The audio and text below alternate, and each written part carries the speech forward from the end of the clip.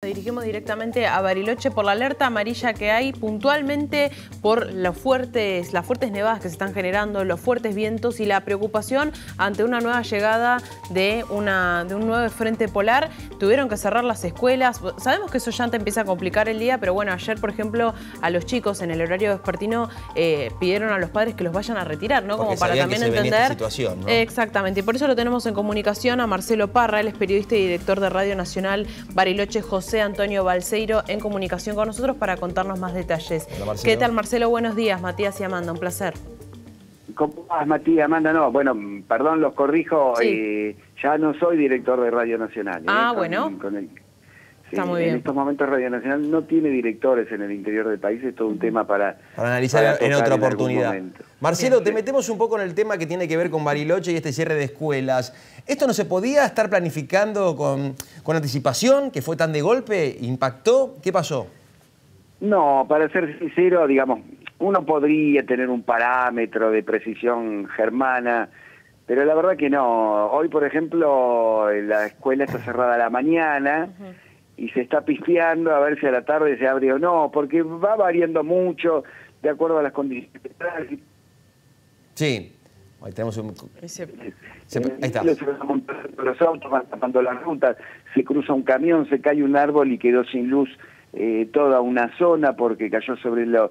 Quiero decir, es toda una situación que mm. es una noticia en proceso, digamos, no es que vos sabés que va a nevar y todo va a quedar cerrado, pero ocurre a veces que sí, que se va complicando, se empieza a complicar y bueno, en ese sentido te quedas sin luz, sin calefacción, eh, con las calles con hielo, bueno, mejor entonces guardémonos porque se complica mucho transitar, ¿no? Marcelo, ¿cuánto complica también una alerta amarilla, por ejemplo, en Bariloche, una zona muy turística, también de entrada a las vacaciones de invierno, sabiendo que es, un, es una ciudad que vive puntualmente del turismo? Mira, paradójicamente lo que es malo para el que vive es, bueno para el turista, porque ayer veía a los brasileños que estaban felices de, de, una nevada tremenda en la ciudad. Eh, eh, me crucé con una gente que recién había llegado a Bariloche, había viajado al mediodía desde Brasil y realmente la gente estaba desbordada de felicidad de lo que estaba viendo. No sé si me escuchan bien. Sí, sí, se sí, ahí te escuchamos bien. O sea, lo sufre una... Vos imaginate un trabajador en un barrio eh, con eh, los charcos en el barro, mm. la nieve, caminar en el hielo, esperar el colectivo, bueno, ese lo sufre, eh, que igual estamos bastante acostumbrados, ¿no? pero el turista en el circuito turístico está de para bien. Sí, sí, Bariloche siempre tiene esa doble cara, ¿no? Mm. La cara del turismo y la cara del que vive en esa ciudad, que cuando la nieve empieza a molestar, realmente es una molestia para todos los sentidos, porque es peligrosa para circular, porque genera también esta pérdida de los comercios. Eh, pero hoy el turismo, ¿vuelve a sostener a Bariloche como ciudad? Bueno, primer año muchos que hubo temporada baja. Eh, hay una gran preocupación en el empresariado porque eh, en un momento quedamos caros para, para el argentino y caros para, por el tema del dólar. Mm para el turista internacional.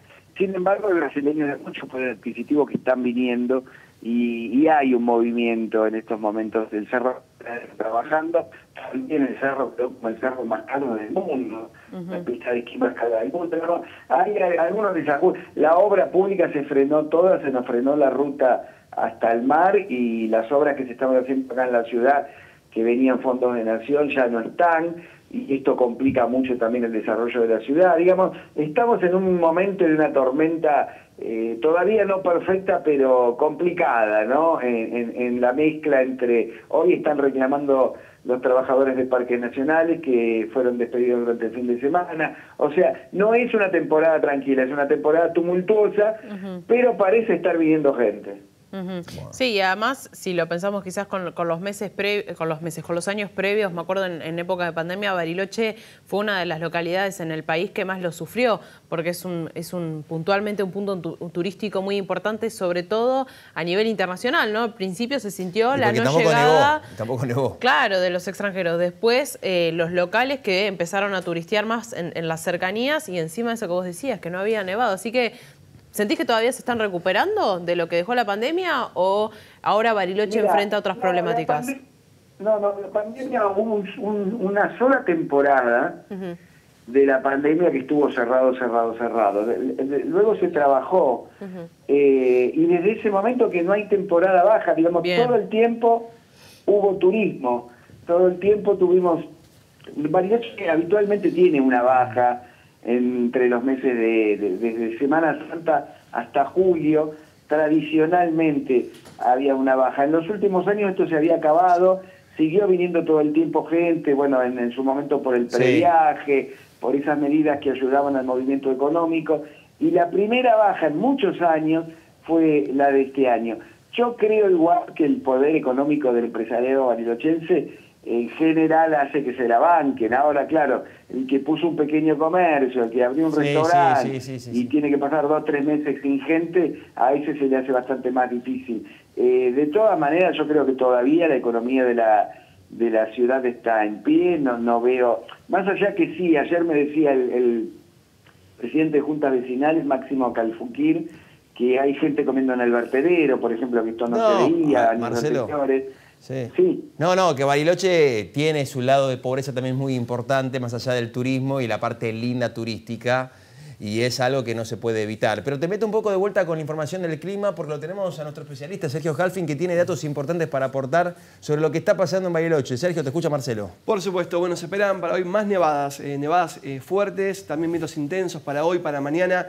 Es decir, que el pico máximo de este temporal de nieve no ha pasado del todo, sino que se espera todavía 48 horas por delante de mucha nieve, viento y bajísimas temperaturas. En Bariloche y también en buena parte del oeste de Río Negro y también de la provincia de Neuquén, con lo cual esto es complicado porque quizás están queriendo llegar a la zona de Bariloche por rutas y se va complicando, ¿no? Por la gran acumulación de nieve en, en la calzada. Así que un pronóstico negativo en cuanto a lo climático para hoy y para mañana, nieve, frío y fuertes vientos. Continúa alerta amarilla. como, dato, como dato, en estos momentos tenemos 3 grados y cuando pasa los 2 grados la nieve se convierte en lluvia, está lloviendo y a las 11 de la mañana aproximadamente, dice el pronóstico, dejaría incluso de llover. O sea que eh, después para la noche volvería la situación a complicarse. Se está especulando a ver si se abre el turno de, de escuela, del turno tarde, para que los pibes puedan ir a la escuela. Bueno, y, y sí, así como uno se queje, además también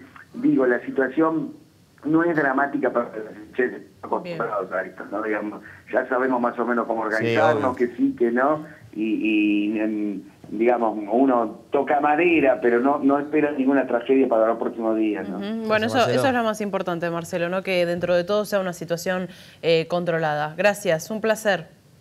Gracias a ustedes. Hasta luego, muy bien. Marcelo Parra, periodista de Bariloche, contándonos, bueno, cómo se está viviendo parte de lo que ya están acostumbrados. Obviamente esto no es algo que pasa por primera vez, pero bueno, siempre es importante tomar todos los recaudos necesarios. Las dos caras de la misma ciudad, ¿no? La cara turística y la cara de, del pesar para los vecinos que saben que cuando hay mucha nieve en exceso genera complicaciones y muchas. Exactamente.